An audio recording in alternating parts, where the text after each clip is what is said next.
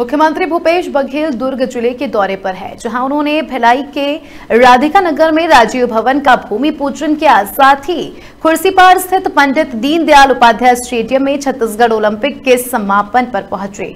भूमि पूजन के बाद मंच से देश के पहले प्रधानमंत्री जवाहरलाल नेहरू को भी याद किया। इसके साथ ही सीएम ने आरएसएस के चीफ मोहन भागवत के छत्तीसगढ़ के दौरे को लेकर बड़ा बयान दिया है। भूपेश बघेल ने कहा कि 15 साल लगातार बीजेपी की सरकार रही। डॉक्टर रमन सिंह छत्तीसगढ़ के मुख्यमंत्री रहे। सबसे ज़्यादा चर्चा उनके कार्यकाल में जो है, सबसे ज़्यादा चर्च उनके कार्यकाल में बनी। यदि मोहन भागवत को चर्चों की सूची चाहिए तो मैं उपलब्ध करा देता हूँ।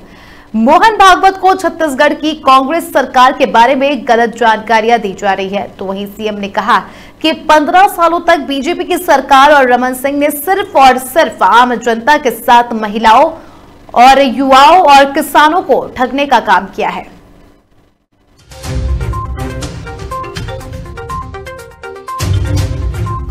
आज भिलाई में राजीव भवन का शिलान्यास हुआ दस हज़ार स्क्वायर फीट में। ये बनेगा और बहुत दिनों की मांग थी बहुत दिनों बाद वैसे जिला बना। और जिला बना तो खुद का अपना भवन होगा। और इसके लिए मैं जिला कांग्रेस कमेटी के अध्यक्ष प्रदेश कांग्रेस कमेटी के अध्यक्ष सबको धन्यवाद देता हूँ।